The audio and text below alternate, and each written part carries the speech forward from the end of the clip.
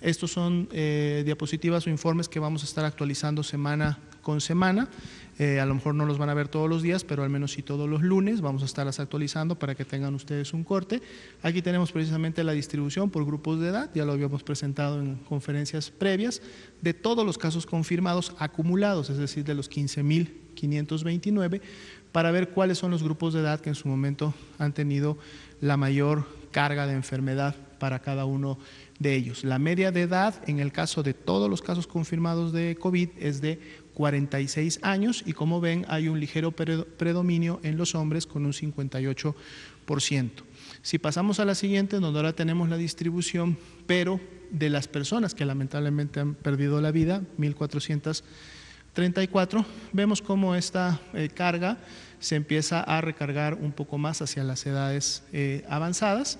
Aquí la media de edad ya es de 59 años, a diferencia del anterior que estaba en 46, y vemos cómo también incrementa la cantidad o la carga en los hombres.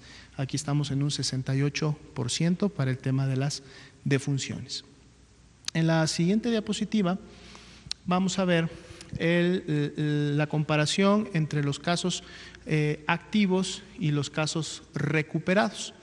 el color azul, ah, es un azul eh, bajo, es un azul claro, representa a los casos este, que se han ido recuperando en función de la fecha de inicio de síntomas.